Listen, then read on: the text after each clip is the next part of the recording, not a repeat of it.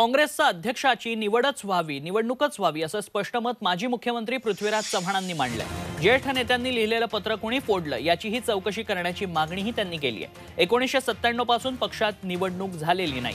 निवडणुकीतून जे नेतृत्व पुढे येईल ते स्वीकारलं जाईल असं चव्हाण म्हणाले. ते पत्र कुणी फोडलं याची चौकशी व्हावी अशी ही मागणी यावेळी त्यांनी केली आहे.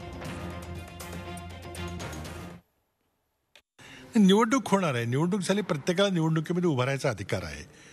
आणि मला वाटतं राहुल गांधी हे पक्षाचे ज्येष्ठ नेते आहेत. त्या चेहरा परिचित आहे.